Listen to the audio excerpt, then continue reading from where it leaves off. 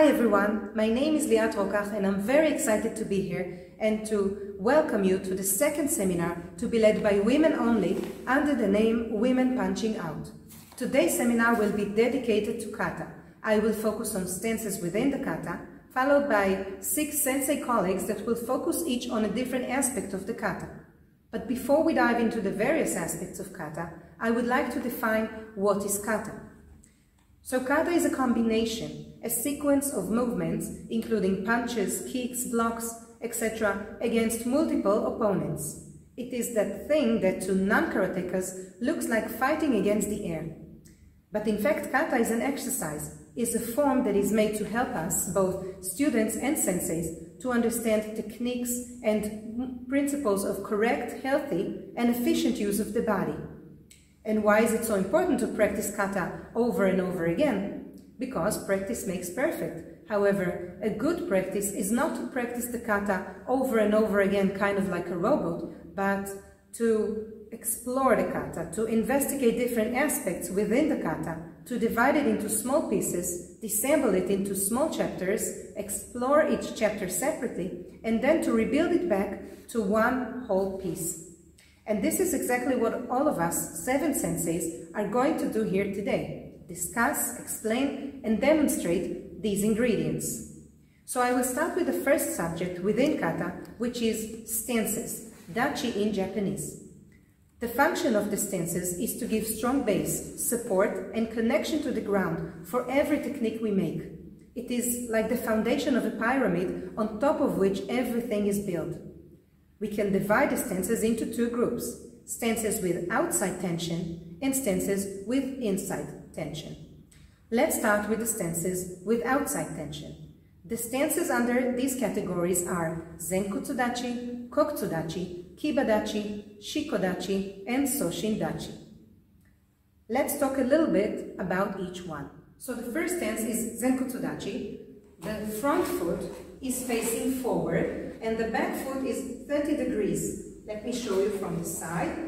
The front leg is forward and the back leg is 30 degrees inside with an angle of 30 degrees.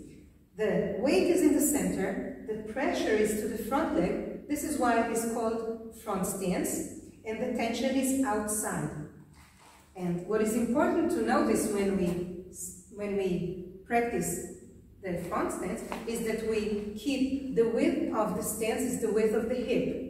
If we stand too wide, then when we punch, the, the body is not going to absorb the shock coming back from the punch. And if we stand too narrow, we are not going to be stable. So the width of the hip enables us to support, the, the, body is going to support the technique that we're doing. And this stance is suitable for punches and uh, techniques, even kicks, forward. And let's see a short example of how the stance support the technique. I will, for this demonstration, I will call my lovely sensei and husband, Sensei Moshe Rokach.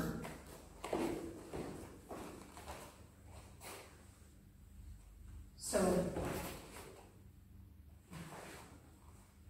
so when the stance is good and the feet are grabbing the floor and the posture is good, the, the shock that is going to come from the punch, the body is going to absorb the shock and the stance is going to help everything happen, like this.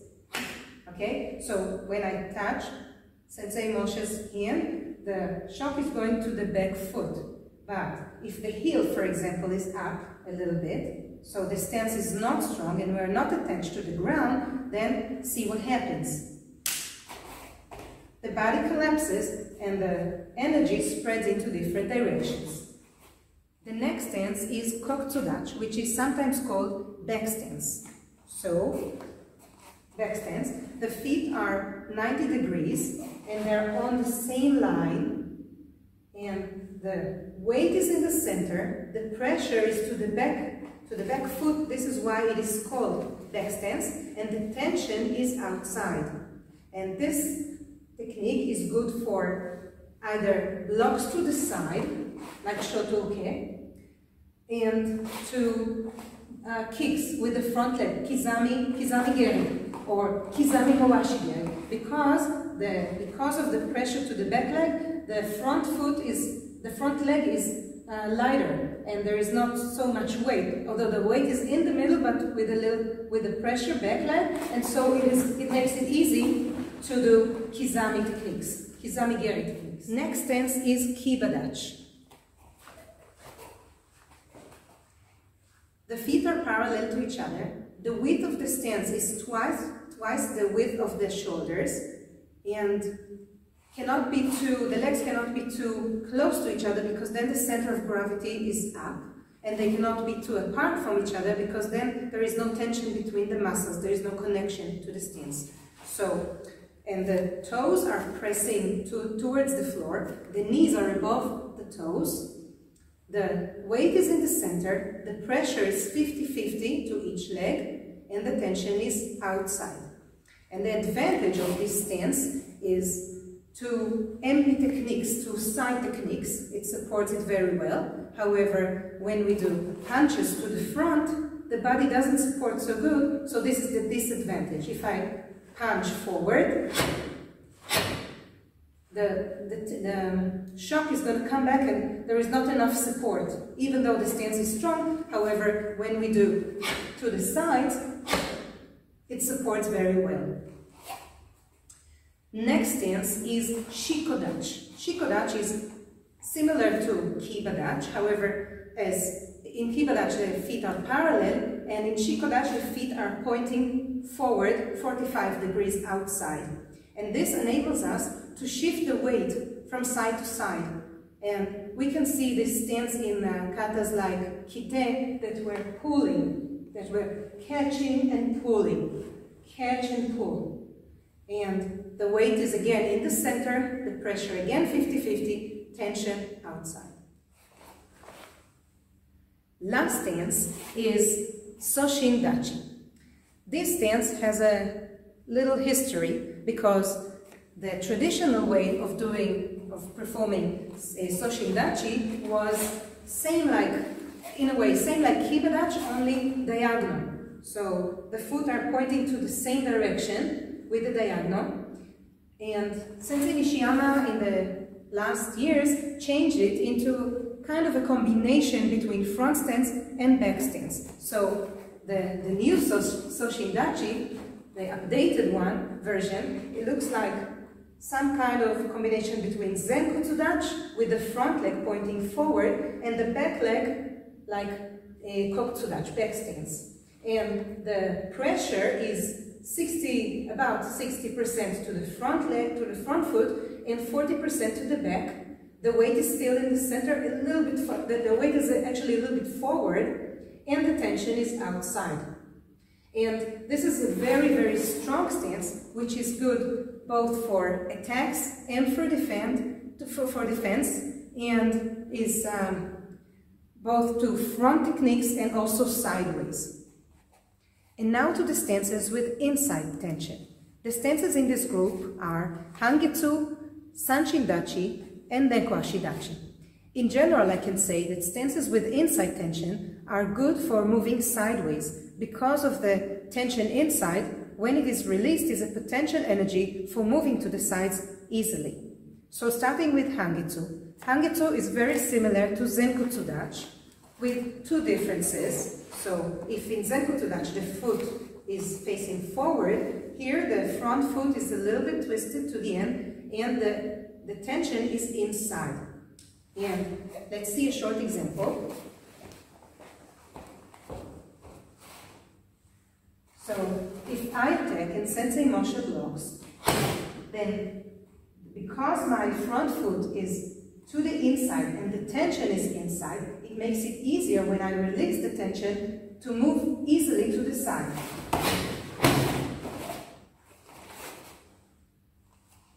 Also, in kata hangets, we can see that because of this angle of the front foot, it is the body and the stance is more connected and it supports the technique, the side block, better than if the foot is to the front and then something is escaping. And now to Sanchin Dachi. When we practice Sanchin-dachi, we need to pay attention that the heel of the front foot is same line with the toes of the back foot and the pressure is inside, the tension is inside. And we can see this stance in katas, in advanced katas like kata kite. For example,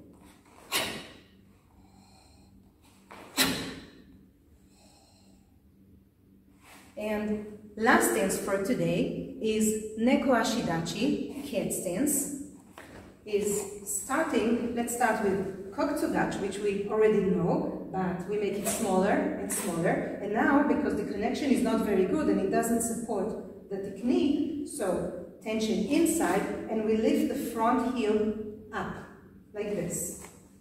And we, this, this stance is very good for front kicks because the, the front leg is very light, and so it's very easy to do kizami mae geri. An example.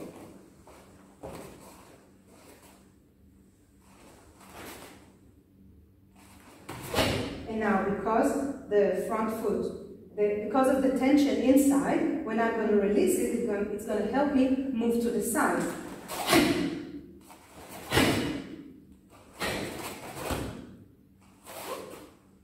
So when we're practicing kata, we must identify each stance. We need to be accurate in how we perform it, and we must understand thoroughly how it is supporting the techniques that we're making. And this is it for today regarding my short introduction on the subject of kata with focus on stances within the kata. I hope you enjoyed it. If so, you are very welcome to push the like button and even share. Thank you all for listening and stay tuned because there is much more to come.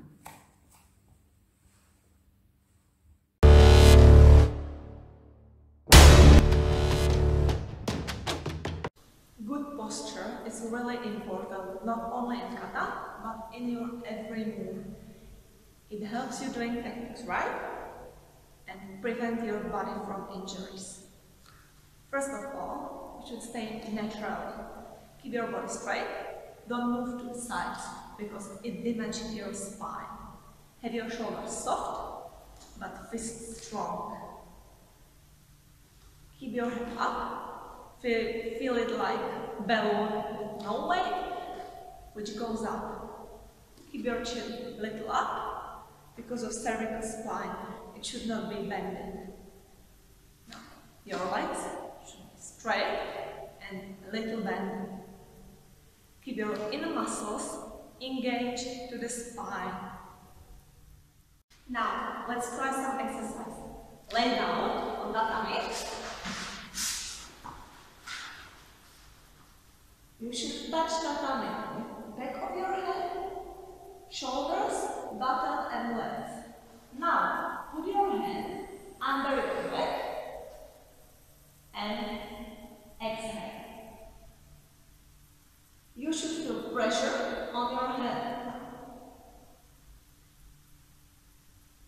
Repeat few times and now you should feel pressure on your head when inhaling or exhaling both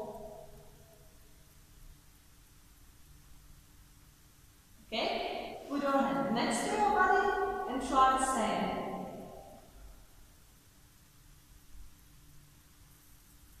Your back should touch the hand.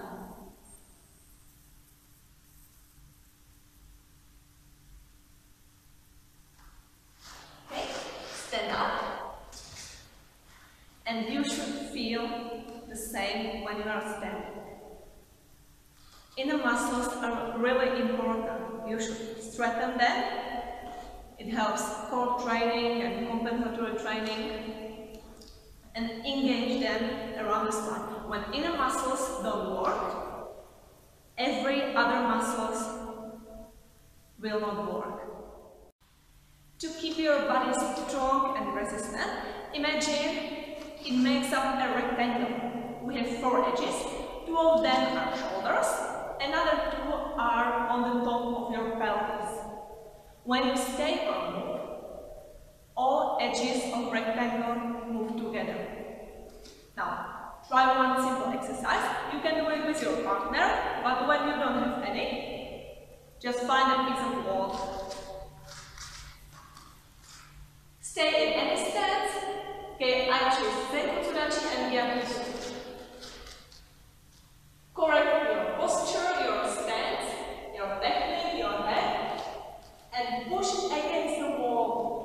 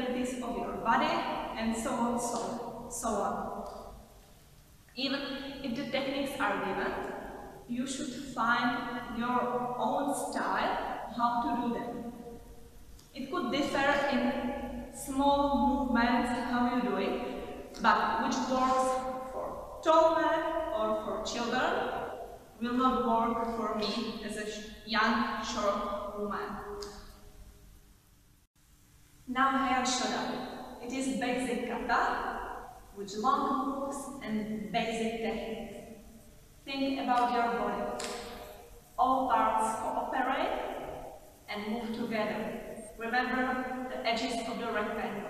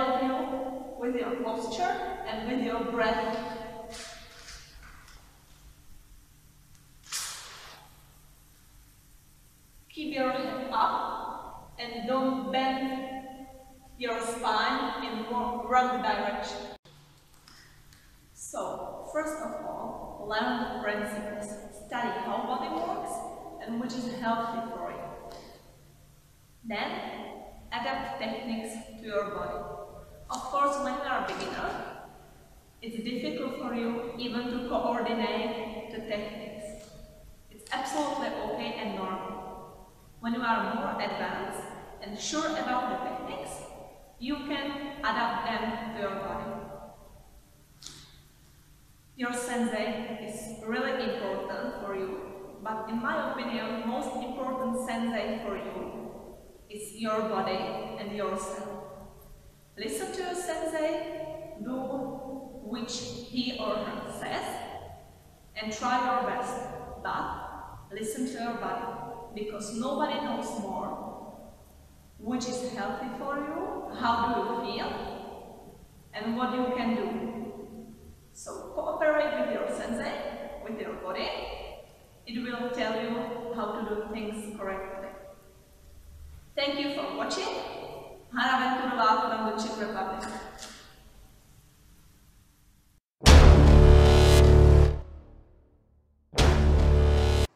Us. The body is engine and the center of action.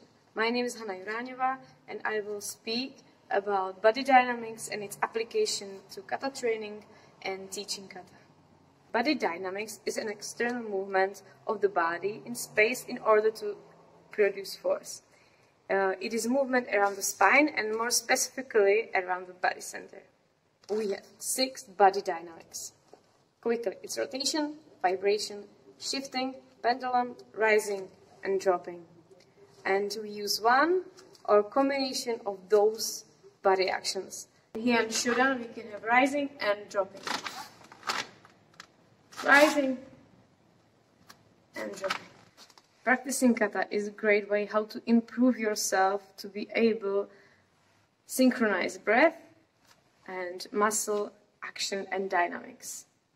And as I said at the beginning, the body is engine and the center of action. So everything has to come through the body center. Uh, well, energy from the feet to the hands uh, or from the hands to the feet has to transfer through the body center. But we can't increase energy without ground reaction. After you practice the external form of your kata and you are trying to focus on body dynamics, uh, first of all, try to practice your kata without your hands. So it means that you will focus just on the legs, on the feet work, and on your body center. Yeah? And you can also practice your, your posture.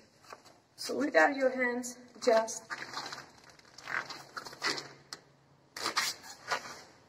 and it's also a good way how to practice to not be stiff on your shoulders. And one more fun thing uh, with this uh, exercise is did I put uh, the mats on uh, the feet of my students if it's possible or something uh, really unstable which gives you a really uncomfortable feeling so you have to be really, really focusing on feed work. Yeah.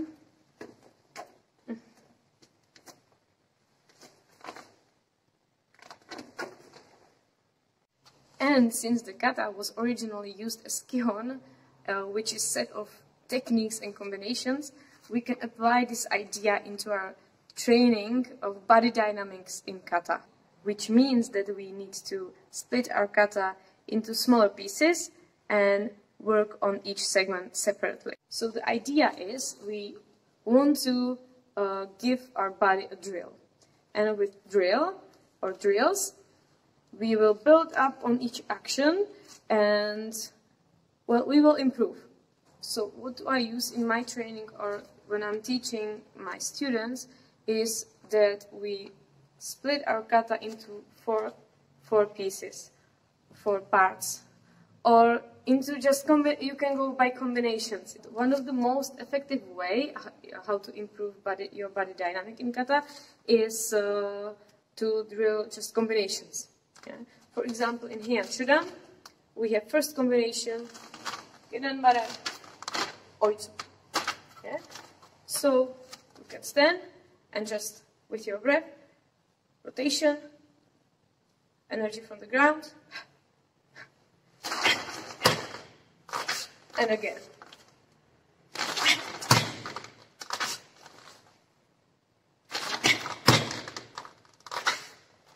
And then you can continue and uh, go with other combinations.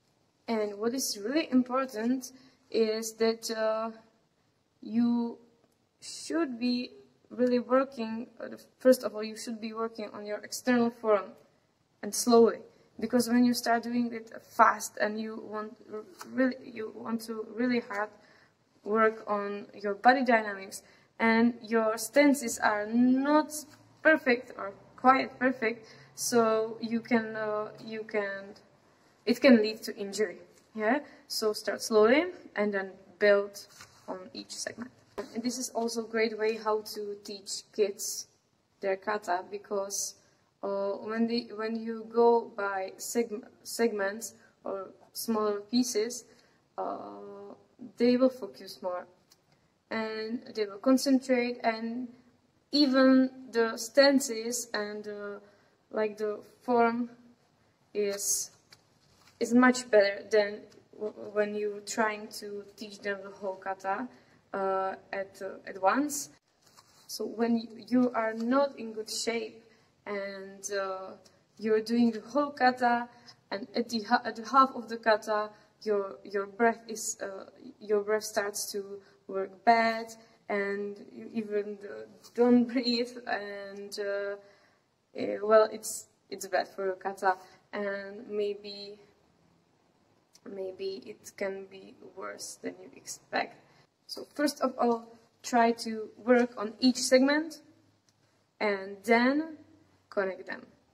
You can connect uh, one piece to second and just do half of kata. Or uh, you can do whole training, you can practice uh, one piece, or second piece separately, third, etc. And then you can uh, connect them at once and maybe try a whole kata at once. It can work, so you have to try what uh, works for you.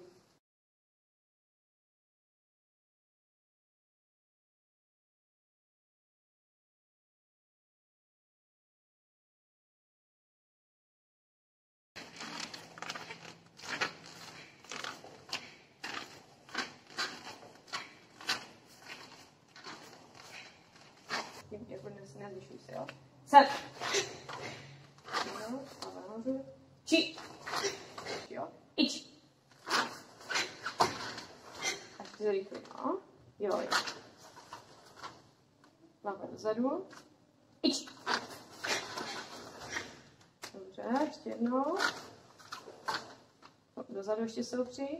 Ni. A ni. A znova. Se. Znova. Či. A znova. Go. A jo. No.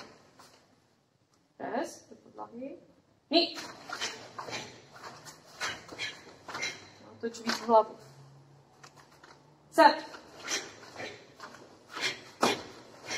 Uh, next exercise, which, which I like to use, is to throwing balls.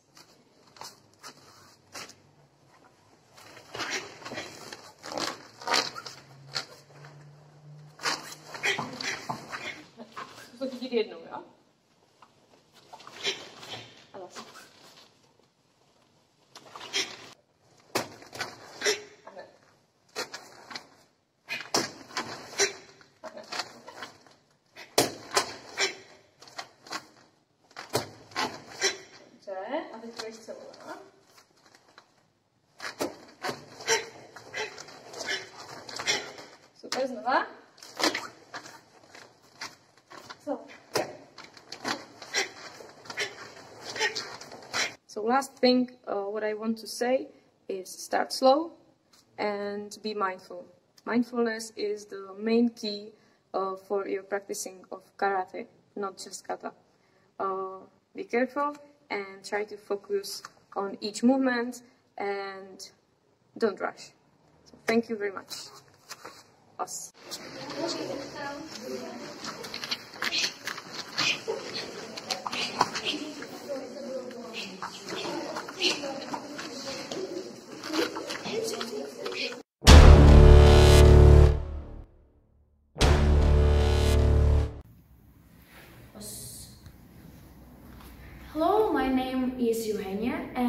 Today we talk about breathing and continuation in kata. In karate we study to breathe from feet. It means uh, with help of exhalation we activate a diaphragm, intercostal muscles and stomach muscles and use it for pressure to flow. it's a theory, but how it works in practice? On competitions and any other performance during kata, uh, we often hear and sometimes do loud exhalation. This exhalation uh, is created by vocal cords. Simple question, why? It's, um, it's a nature our, our nervous system. In stress situation, our breathing rise up. Breathing from top means we have strong top, uh, we have uh, strong neck muscles and uh, uh shoulder muscles and that eliminate stomach work and correct feet work. How we should breathe from stomach connect with our action in karate. A stomach all the time is a small tension, tone. Breathing out, a diaphragm goes up and our stomach goes a bit ahead. Uh, with this movement, we uh, with this movement we create pressure to floor and use it for our action. Our stomach does such kind of snap. Um, to better feeling this connection, we will do exercise with medicine ball. We take a ball and throw it to floor uh, using only arms. Of course, uh, this row uh, has uh, certain force, but um, only due to hands. Limited work to hands and um, using uh, throw the ball, limited work of hands, and uh, using uh, using breathing and work at diaphragms.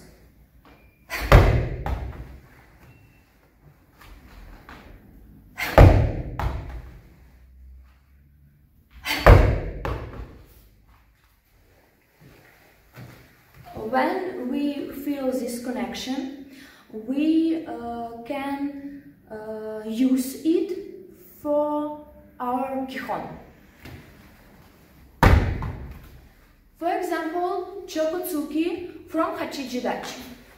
All our attention on concentrate on stomach work, breathing out, and pressure to floor.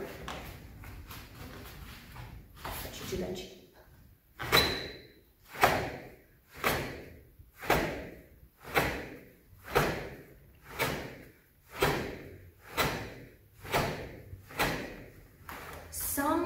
some case um, from Kibadachi.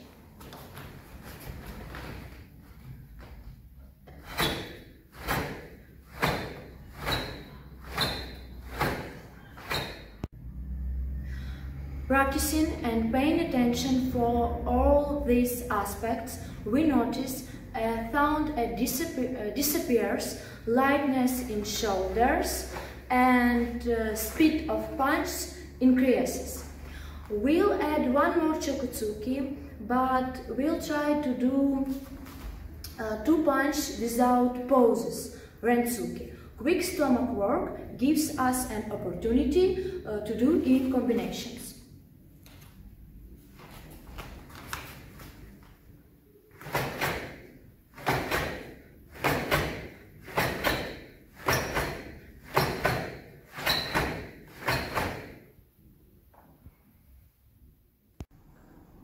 Kata is unique methodology of training that consists of combinations. Continuous movement, smooth alternation depends of breathing. Um, only through correct breathing we can avoid unnecessary pause. A take a, a split, a technique, a take a split of second. Kime because it's final phase of technique. Uh, it's important to understand basic principle. Breathing never stop. Even, even when technique stopped, breathing never stop. Uh, in karate, there is no breathing in. It means we, uh, we try to breathe do breathe fast and not noticeable. Mm, to better understand this, imagine uh, imagine car in a city and engines work. When car arrives in a city and stop on traffic light, uh, engine in inside a car continues to work. Some case with breathing in karate. Uh, when we stop breathing, energy in our body also stops. It influences on zanshin, reaction, uh, moving of center, pressure to floor. Uh, it, it makes our it makes our action an integral and um, our aim not to learn how to move uh, hands and arms separately. Our aim uh, learn how to transport energy.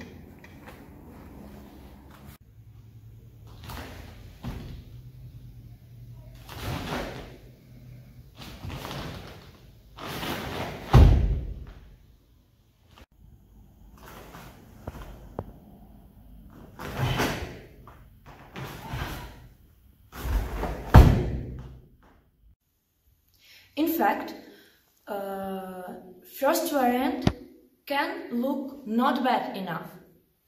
But uh, difference between first variant and second variant is huge. A Element from Shiho. Firstly, my center immediately goes to opponent.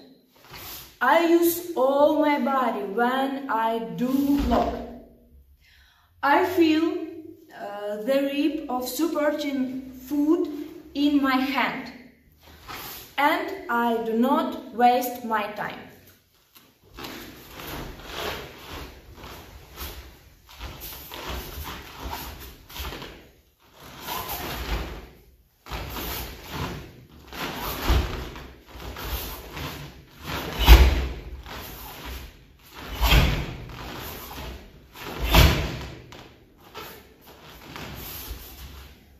Uh, now I try uh, to show you separately work arms and legs.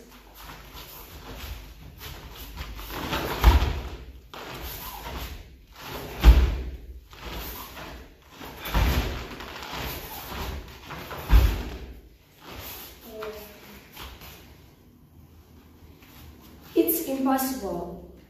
Widespread mistake uh, of doing during kata it's uh, overstaying, overqueuing in kime, breath holding, and creation of unnecessary poses. There is uh, there is, is interesting methodology training of training kata without kime. Movements must be soft and smooth and of course without poses and uh, kime. I try to show you uh, it's for example Nijushiho.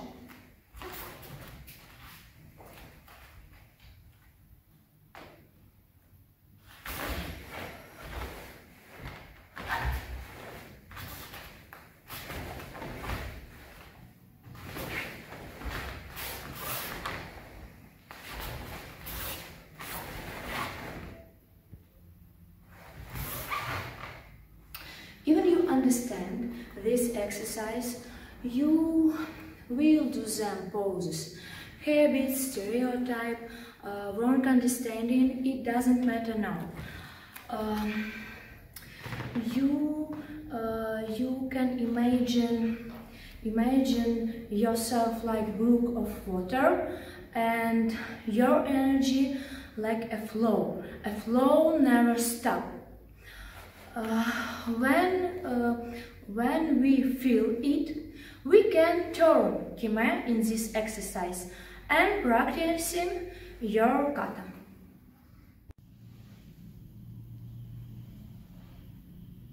인식!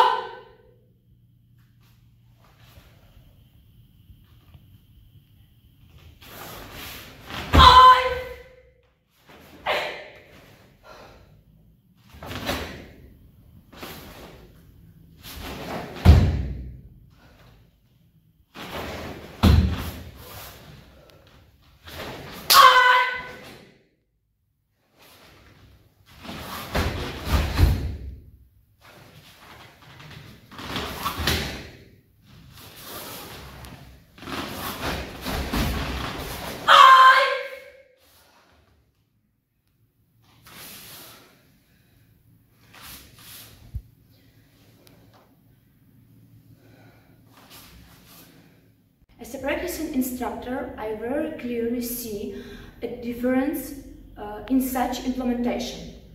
I explain to my children that their kata is a kumite.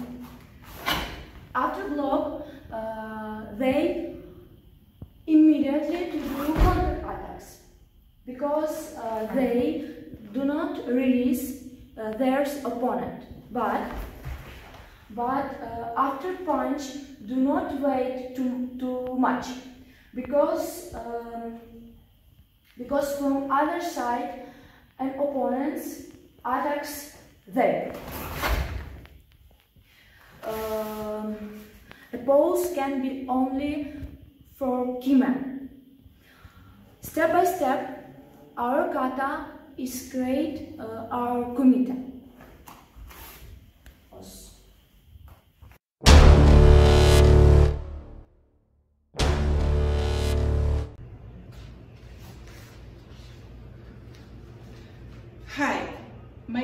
Shiri Renner Trinat, and today we're going to talk about kata. Kata in general, but more specifically into Heian Shodan. So today I'm going to talk about a little bit uh, kata application, which means how we use the knowledge, how we use the skills that uh, kata give us, how we use it in a real fighting situation. So before we get into that, I would like to first of all sum up a little bit of what my co-sensei said so far.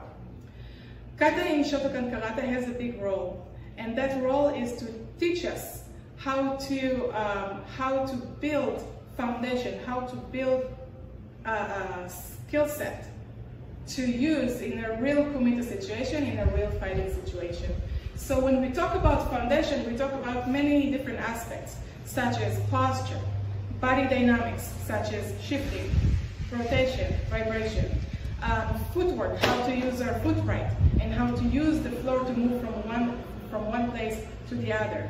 Um, Kata also teaches us how to create and how to use mental picture imaging of, um, of a technique that we want to be in and to be able to bring our body to that technique.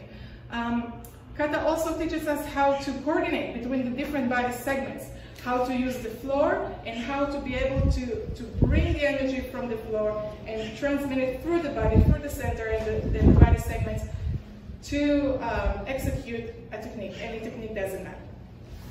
Kata also teaches us the flow of the motion and rhythm. So the rhythm in, in kata is, uh, is giving us indication of how we will use speed and timing in, in a specific uh, technique sequence in a specific situation. Kata also teaches us, of course, stance and the different techniques. Not, not, we're not only talking about punch or a block or a kick of any kind, but also the distances that are uh, optimum for that specific stance and that specific technique. And lastly, Kata teaches us uh, kime and breathing, how to connect to the floor and how to derive energy from the floor to execute any technique and pressure reaction. So, um, so let's talk about that a little bit.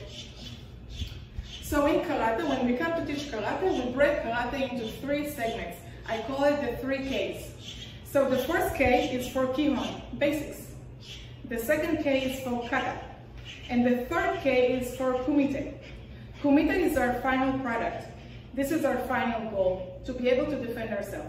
Karate is a self-defense martial art. This is what we want. We want to make sure that we don't get hit and we are able to defend ourselves in, in any case, in any situation. To get to that final product, to get to be able to, to do kumite skillfully, we first need to learn the foundation, the basics.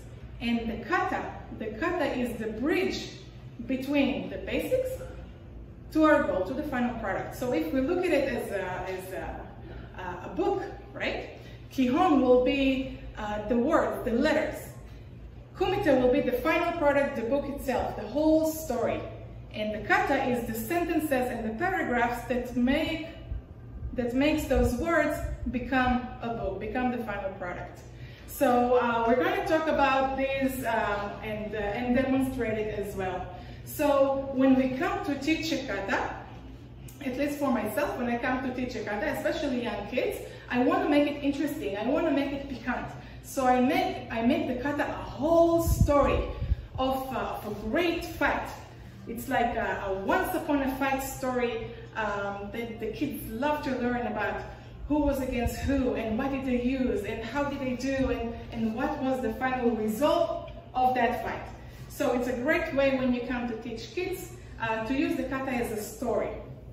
So the story, this story is going to help us teach them, teach them, teach ourselves as well. First of all, to build spirit, build the spirits of the fight. What was it like? How did it feel?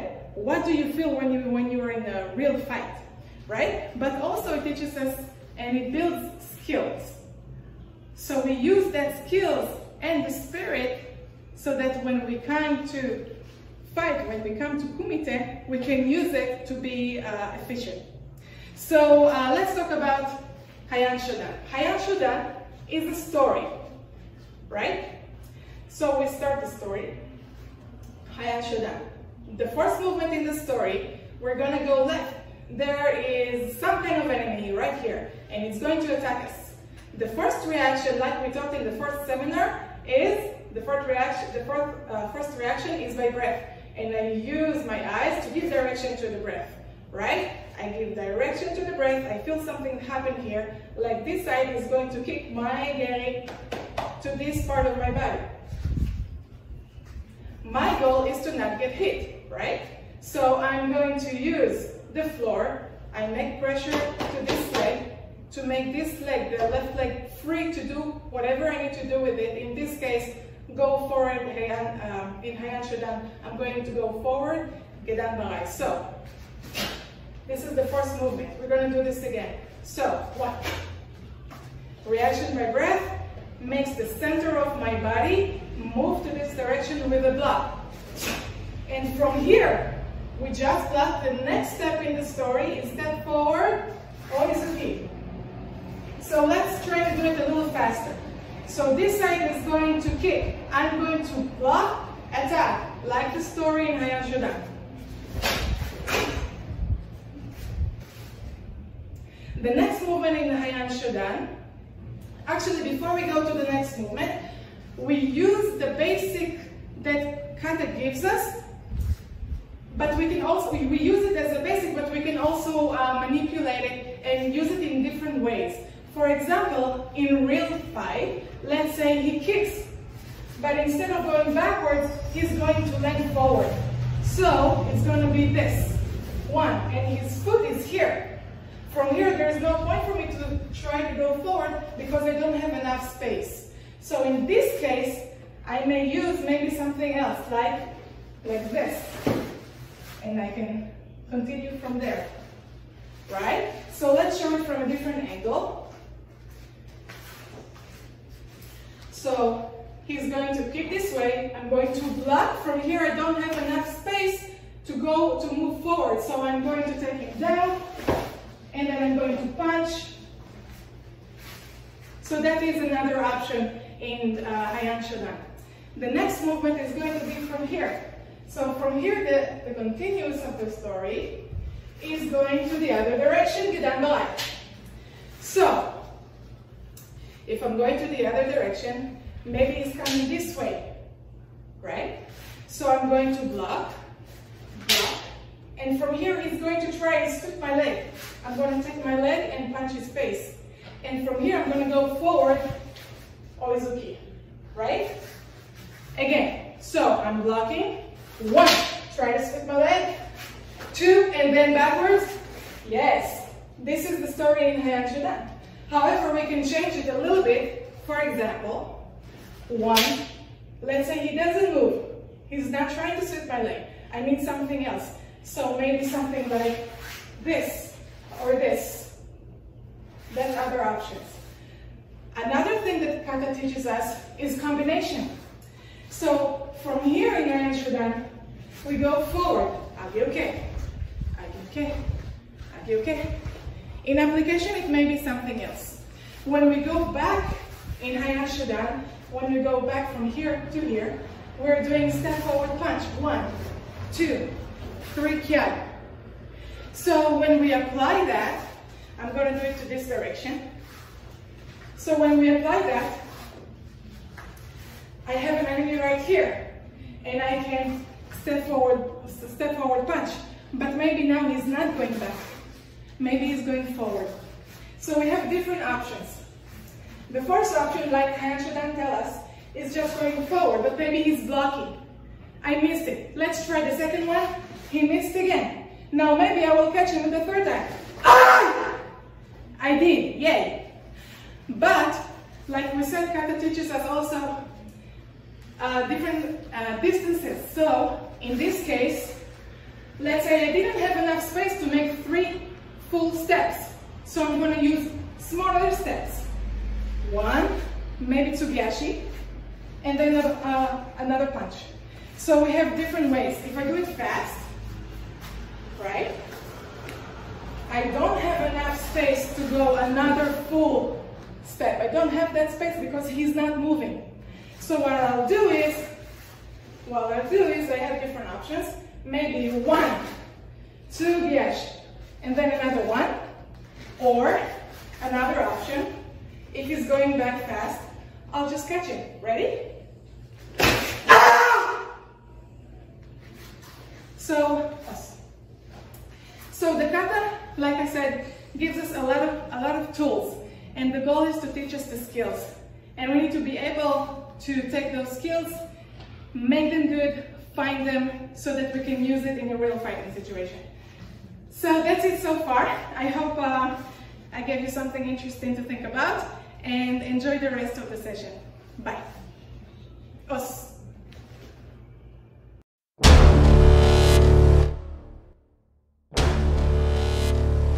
Os. Welcome everyone. My name is Sensei Alicia. My sensei is Sensei Angele. Today you are welcome in Dojo Kluczbork. Yes, in Poland. So, my very short lecture is about mental aspects in kata and I will tell you about few elements that you can work during your trainings and you can uh, improve your kata and when you train your mental aspect you don't have to be so dynamic and you can go with very smooth moves but you have to concentrate very, very hard, okay? So, let's start. First element. My first element I want to talk about is name of your kata. If you understand the name of your kata, you know what is it about. If you, for example, choose, I choose Enpi for you, okay? So you start.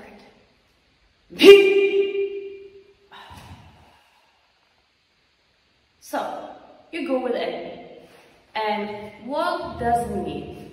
The Enpi means the special kind of the bird which moves up and down in a dynamic way and very, mm, it likes to change directions, yeah? So, if you understand what the names mean, so you can mentally go deep in your kata. Because when I call this kata Enpi, I am already in. I know that it is special combination one, two. I go up and down, up and down. Okay? So you go up and down and you are very dynamic. You want to change your direction and you want to and you don't want to cut your techniques, okay? You have to have this transition between them. So, first thing, name of kata.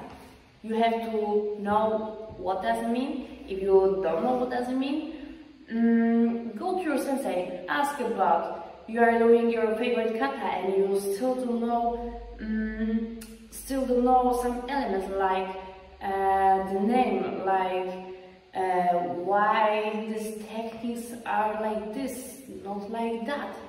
Ask your sensei. They they know this. Yeah, yeah, you have to trust them. So, um, name.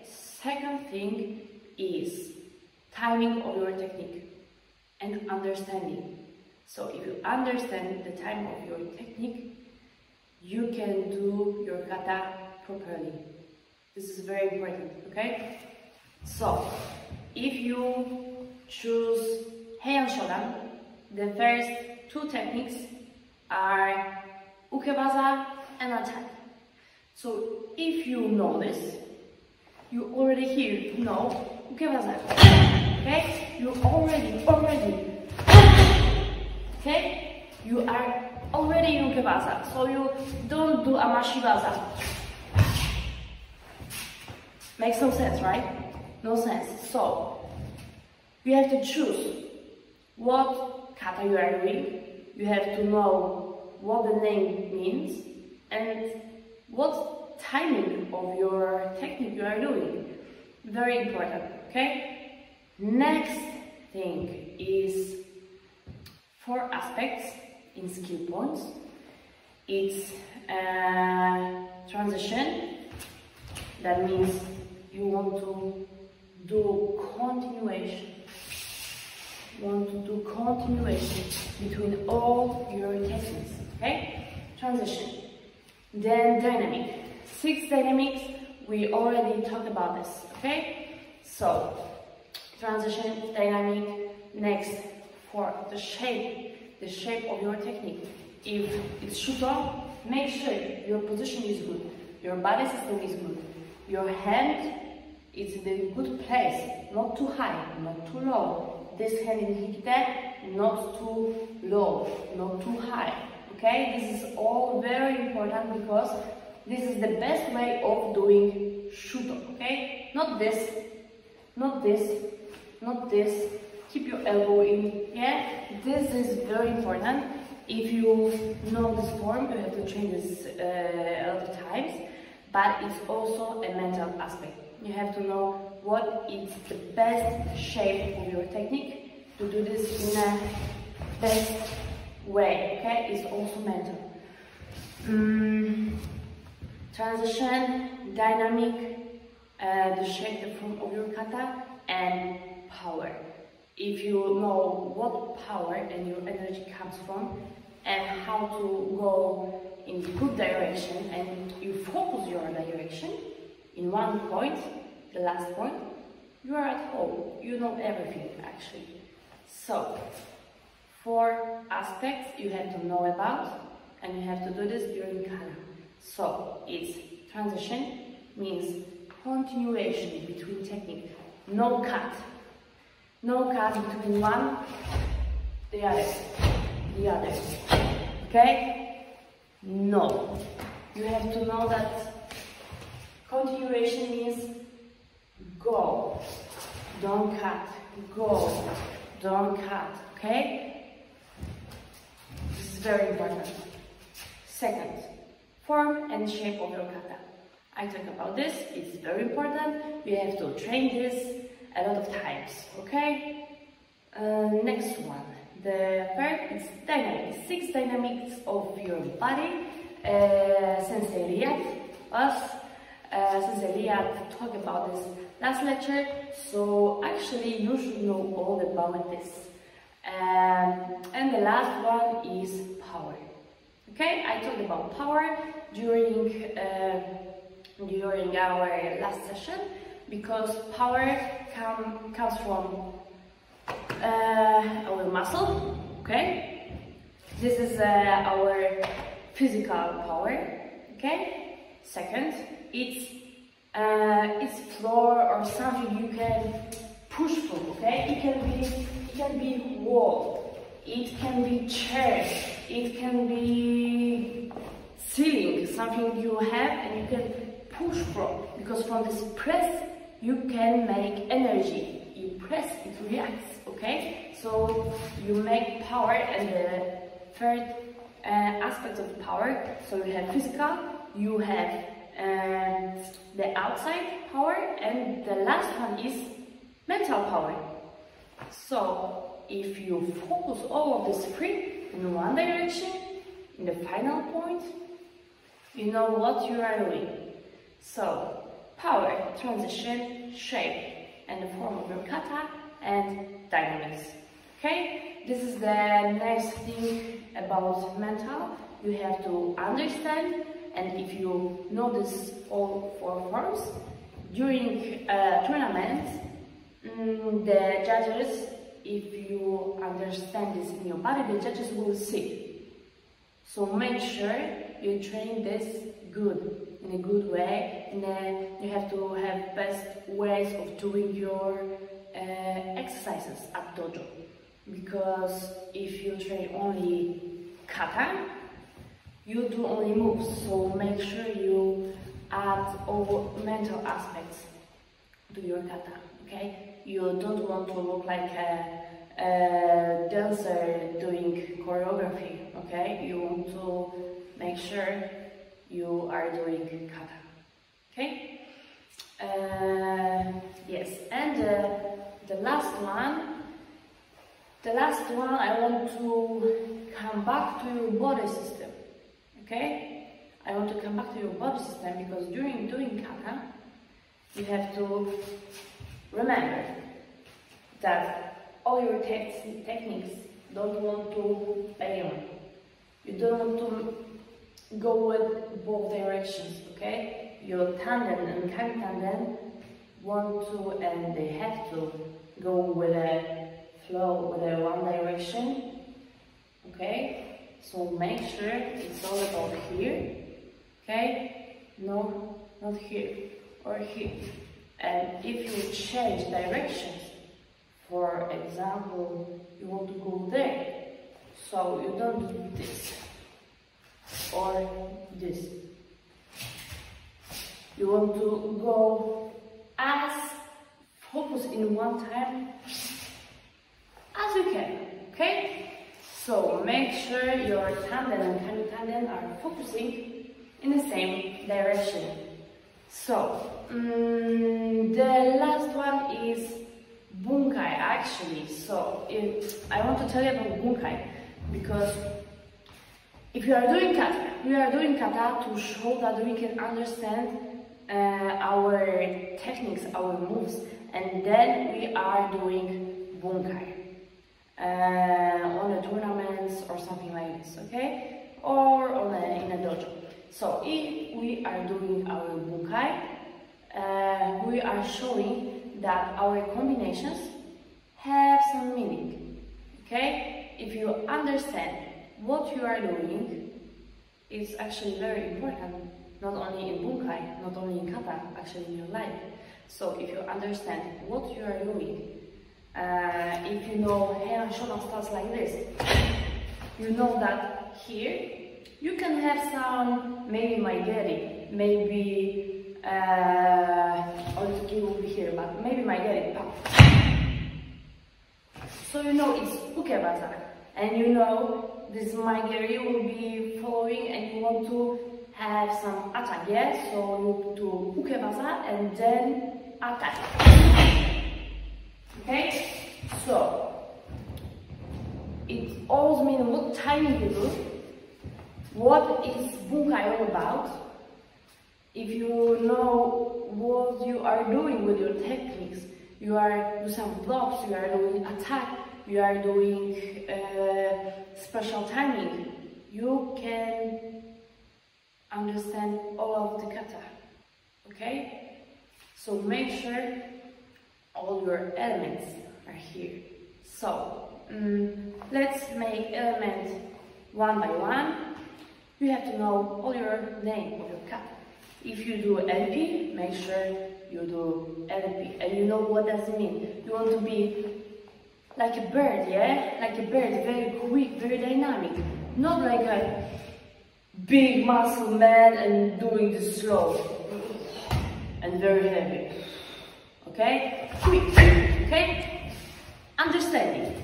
Name of your kata. Second, timing of your technique. Very important, not only in kata, but if you do this in kata properly, the judges on tournament know. They know. Okay? Uh, they see everything.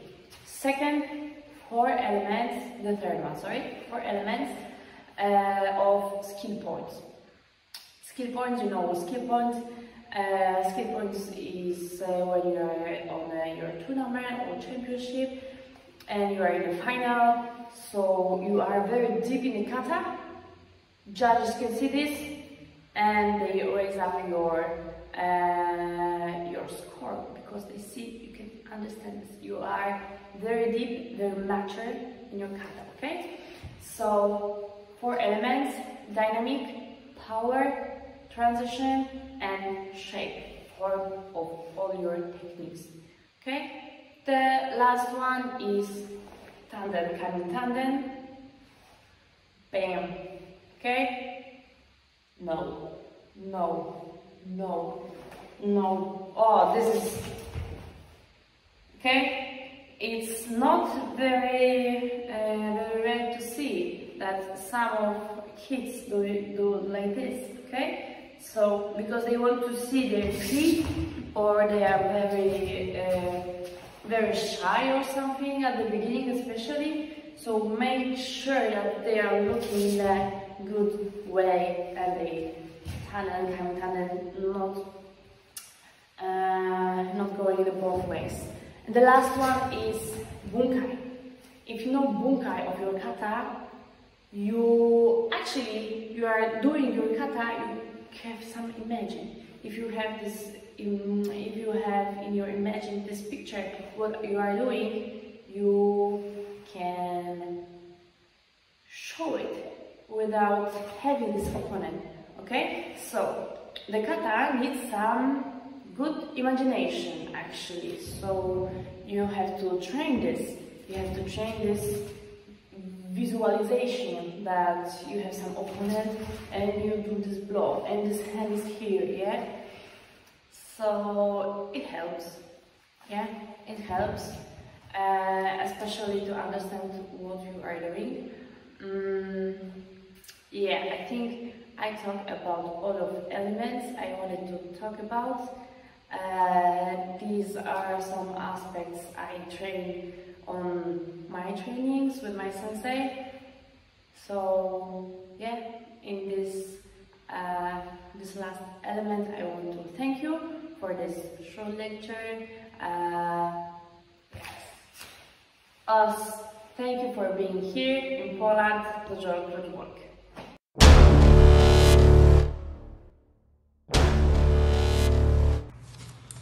Hi everyone, I'm really excited to be back and be here again. Thank you again Liat, Roka for arranging this and thank you to Budo Karate for being a, such a progressive organization and hosting this. Anyway, so the subject today is kata and for me the most interesting aspect of karate has always been the more meditative side. So I chose to talk about meditation and how it relates to kata. So I think that maybe I need to start by defining meditation the way I see it. It's kind of about being present, about not having this chattering mind talking to you, trying to quiet your mind and becoming aware, becoming attentive, and not um, it's okay that thoughts come and go, but not to get stuck on them, and especially not to judge them and have an opinion on them, just letting them pass by. So that's how I look at meditation in life. But how can we use kata to enhance this and then take what we learn from that practice into our life? So um, can, you can kind of see it like a lake when a lake is completely still, you, you can look down in the reflection and it's very clear. And it's whatever you see, you see it as it is and it reflects, reflects back to you and you don't judge it, it's just there. And if you start to judge it, it's almost like it creates reefs on the lake. And what comes back to you is distorted. It's not the true picture the way it is. And this is what causes emotions in us, unstable emotions. And the opposite is if we can move away from that judgment and our being opinionated, we can have a calm, quiet lake and create stable emotions. And that's what you can do through kata practice and of course sparring practice also. So in Budo, uh, we have a saying, Ensen and Zen no Metsuke. So it means as if looking at a far mountain. And this is we want to see a mountain from afar. Uh, in karate, we have, in kata, we give ourselves physical cues as put your eyes behind. That helps us to see a wider, broader, broader perspective. And, you know, we don't want to be stuck on one tree or a goat or a house on the mountain. We want to see everything, including the tree and the house and the goat. So that's a very important concept. And one of my favorite philosophers, Krishnamurti, he called this kind of awareness choiceless awareness. It's an awareness that you have without having a point of view about what it is that you're perceiving. So anyways, enough of that said, how does this relate to kata and to karate and to sparring? Mainly to kata today. So the way I see it is even from the beginning of a class, we start by sitting in mokuso. So in mokuso, we say attention to breath. And then we close our eyes, half close our eyes, and we pay attention to our breath. So this is a way to avoid other interference, a way to quiet our chattering mind, get focused on you know the practice that's coming up or closing the practice at the end and so this is one way we are focused, we're putting our attention to the breath. And through kata, we, we do this instead, of course we use our breath in kata to a lot, but we also use additional tools. Kata is a little bit higher level, I would say, than just sitting in mokuso because now it, it's not like yoga where we you know, certain yogas where we sit in asanas. I know there's a lot of movement happening inside, but this is actually big physical movements. So kata is a form of meditation in movement, which is a higher level because you have to actually have your mind flow from intention to intention without any gaps in between. And of course we use our breath to avoid these little gaps coming in between. But from intention to intention, without getting stuck on any thoughts or judgments or opinions about what's going on in, in between. So you can liken, if you, if you picture a dog on a leash, you know, a dog without the leash is running wild everywhere and it's following every thought, it's acting on everything, it's, it pees on trees and it follows different tracks. But then you want to control it or tame it. So you put it on a leash and then it walks nicely next to you. So this you can kind of liken Mokuso and Kata practice with. We kind of have a leash on ourselves. In Mokuso, it is the attention to the breath, and in Kata is the breath and the visualization of the techniques. So that is kind of the leash that holds us down. In Karate, the highest level of meditation is taking place during sparring. So we can liken this to the dog again, the story about the dog, but now if you have a very, very well-trained dog, like a high-level black belt karate, you can take the leash off, you no longer need to focus, have this attention to the breath, that's just something that happens naturally, but your mind will not run wild even if you take the leash off, even if you stop this attention. You will, you, your mind will be free, but it will be, we say. So in this next five minutes, I'm going to try to talk about how actually to use meditation um, practice uh, through kata. So the kata begins with a natural stance. When we're in natural stance, we want to gather our energy in our tanden, which is three fingers under the belly button, center of energy. Some katas even physically help us with this, for example, like Kanku Dai, where we bring all the energy into our tanden. So, anyways, the first step, step is natural stance, where we gather our energy. The next step is when we're about, before we start to actually move, we want to have a very clear mental picture, an image, a vision of for example, what the end picture looks. What is the next schema look like? So we want to have a strong mental image of this uh, picture. Um, and not only a picture, but we also want to keep a strong um, image of what is the purpose of the technique that we're doing because that's going to help us to determine the trajectory, which line, which path we're traveling in, the line of energy, and also what type of energy we are going to use, what type of maybe ki or force or that's very important. So we, a, a strong picture of where we're going, what it's looking like at the end, and also the purpose.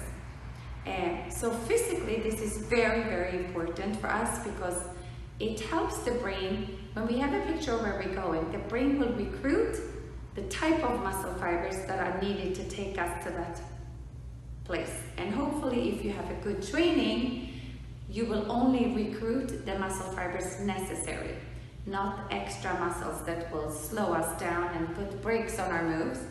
The brain will also help to set yourself up and will, will help the neuromuscular system fire and sequence uh, which, which exact sequence are these muscle fibers going to be recruited in. So by having this picture, you will already be set. It's like a bow and arrow that's pulled up. The brain has already told, given its message, and it just, when you release your breath, you just go. So the third state would be when you actually begin to move. So when you're moving, physically, you want to do less is more. You don't want to use extra muscle and try to muscle it because you will just slow it down. You want to be like water, like a river that just flows towards and towards your goal. And mentally, as you're doing this flowing, you just want to maintain a very strong image of everything I just described, the kind of energy you want to deliver and where you're going. Uh, the next step would be when you get to the kime. So when you get to the kime point, physically you freeze completely. You look frozen on the outside, but of course the energy is flowing and being delivered to the target. Um, so it's like a water that runs and you freeze into a complete ice sculpture. So of course you, with your breath, you make pressure to floor to create an equal and opposite reaction, but also you make pressure, you know, with your breath towards the center uh, for muscle contraction. And mentally this part, you want to just visualize how you're sending your energy into the target in the direction uh, of the purpose of the technique. And at the very end of your kime, when you feel like you've given it everything out that you have, at that point, you want to start to, um, sorry, some noise outside. At the end of the technique, you want to give everything out. And when you feel that you've emptied yourself completely, all your energy, simultaneously, that moment needs to contain the picture of the visualize or the visualization of the next kime. So there's no space. The end of one kime contains the beginning of, of the, like the complete picture of the next kime. That way we avoid spaces in our kata. So at the very, very end, and uh, so after that you continue this cycle over and over again of a new picture, end of kime contains new picture, until you get to the very end of the kata. And I kind of look at it like a river that runs, that maybe being stopped, that places, but it never freezes completely. Sensei Avi always says this example that I think he got from Nishiyama about the canoe that floats on a river. You, the river keeps floating under you. The canoe could get stuck on something or you could hold it or stop it, but it keeps flowing. So where you stop the canoe, there will be the kimes, but the river flows. And at the end, a river usually flows out to a body of water. And then once it comes, like it could run into a lake or an ocean, once it comes down, everything becomes still again. So I feel like that's the end of the kata. You finish your last kime, let's say Meshadon for example, and then you just run it back into the body of water and then your energy is back in your tanden and everything is quiet and still again.